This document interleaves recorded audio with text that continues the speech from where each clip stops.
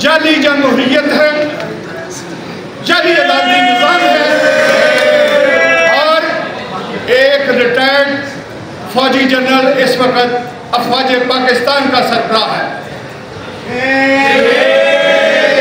میں سمجھتا ہوں کہ ایک مینٹل آدمی، ایک نارمل آدمی اس وقت پاکستان کی جوڈیشری کا ہیڈ بنا بیٹھا ہے۔ یہ اسے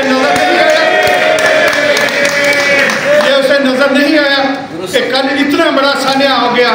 نہتے وکلا پر جس طرح زریلی ٹیئر گیس پھینکی گئی، گندا پانی پھینکا گیا اور انہیں بدترین تشدد کا نشانہ بنایا گیا۔ اور اس کے بعد ہمارے بھائیوں کو گرفتار کیا گیا۔ زخمی حالت میں ان کو گرفتار کیا گیا۔ کسی کو شرم نہیں آئی کہ پاکستان میں یہ ہو کیا رہا ہے۔ کہاں ہے ہمارے بنیادی حقوق؟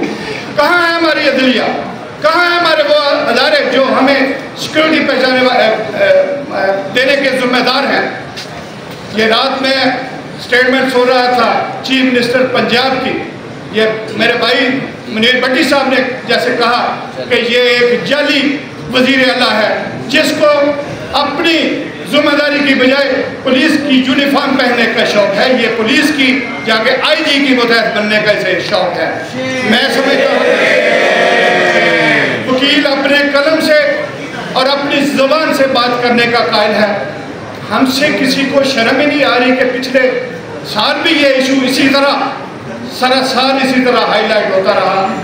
اور اس دفعہ بھی ہم سڑکوں میں بھی آ گئے، ہمیں لاٹھی چار بھی ہو گیا۔ کسی کو شرم نہیں آ رہی کہ یہ ایشو تو صرف ایک سیٹنگ میں بیٹھ کے حل کرنے کے قابل تھا۔ آپ نے اس کو انٹرنیشنل ایشو بنا دیا۔ پوری دنیا دیکھ رہی ہے کہ پاکستان میں کیسا نظام انصاف ہے پاکستان کی کس طرح کی جمہوریت ہے۔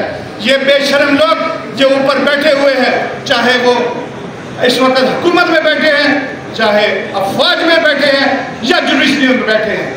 ہم ان سب کو کہتے ہیں کی سرکار! نہیں چلے گی نہیں چلے گی۔ لاٹھی گولی کی سرکار! نہیں چلے گی نہیں چلے گی۔ آپ دیکھیں ان سب کے بچے۔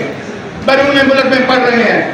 ان کی جائیدادیں بیرون ملک میں ہیں۔ انہوں نے ریٹائر ہو کے جانا بھی بیرون ملک میں ہے۔ یہاں یہ ان کی تو قبریں بھی نہیں ہوتی۔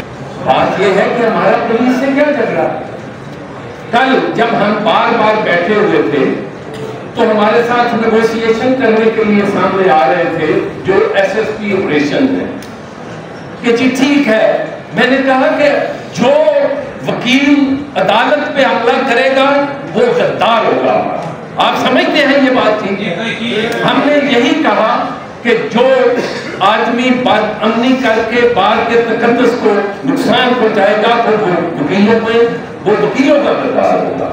جب ہم یہ شورٹی دے کے آ رہے ہیں اور ہم اسی اپنے گھر میں جس میں ہم روز آتے ہیں، تو اس میں کیا مذائقہ ہے؟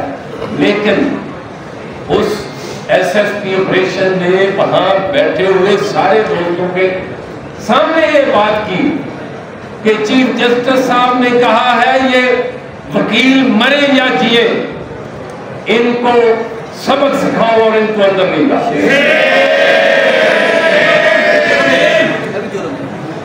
میں اس لیے یہ بات کر رہا ہوں کہ یہ میں اس بار کے اکابرین کے علم میں اس لیے لانا چاہتا ہوں کہ رات جب اپنے مقرا گرفتار مقرا کی رہائی کے لیے ہمارے وائس چیئرمین اور صدر لاہور بار ایسوسیشن انہوں نے مذاکرات کیے تو انہوں نے ان کو کہا کہ آپ لوگوں نے ہمارے ساتھ بہت زیادتی کی ہے اور ہم ہمیشہ آئین کی بات کرتے ہیں، ہم آپ کو پراسیکیوٹ کریں گے۔ تو انہوں نے یہ فرمایا کہ اپنی آفیشل لینڈ لائن سے آئی جی پنجاب کو اور جو سی سی پی او لاہور ہے، یہ فون کر کے جج صاحب نے کہا کہ اگر تم نے یہ نہ کیا تو پھر آپ کے لوگ لوگ روز میرے پاس آتے ہیں۔ آپ کا لوگوں کا جو حشر ہے وہ سارے اور ان نوکری زدہ لوگوں نے جو پورے صوبے کو چلا رہے ہیں، ان نوکری زدہ لوگوں نے ہمارے موجودہ چیف جسٹس جو ہیں، جناب شہزاد ہیبا صاحب، ان کے حکم کی تعمیل کی وجہ آوری میں نہتے وکیلوں پر، پرامن وکیلوں پر نہ صرف لاٹھی چارج کیا ایسی گندی گیس پھینکی تو میں تو اس سے فیٹ ہو گیا وہ اتنی کوئی ضروری چیز تھی ایکسپائرڈ تھی یا کوئی جو پانی پھینک رہے تھے پوٹاشیم ملا کیمیکل طاہر رسول اللہ بڑائی صاحب میرے ساتھ ساتھ تھے تو اس سے ظاہر ہے وکیل کا جیسے سانس بند ہو جاتا ہے یہ صورتحال تھی اور میں طاہر نے مجھے بتایا اس وقت میں ادھر تھا تو طاہر صاحب نے کہا کہ جی یہ ہو رہا ہے تو دوستوں نے کہا جی آپ نہ جائیں، عدالت کی طرف کی طرف میں نے کہا کہ جب ہمیں یہ پتہ چل گیا ہے، ہمارے بچے جو ہیں باہر پر لاٹھی چارج ہو رہا ہے، اور بچے جو ہیں، وہ گیس ان پہ پھینکی جا رہی ہے تو why we should not go there زندگی اتنی لمبی نہیں ہے، یا اتنی دائمی نہیں ہے جب آپ تمام دوستوں کو اور مجھے پتا ہے کہ ایک سرٹن پیریڈ کے پاس ہم نے چلے ہی جانا ہے۔ و معزز ممبران بار اگر ہم تھوڑا سا غور کریں، تو مئی کا مہینہ کافی دفعہ ہم پہ باری گزرا۔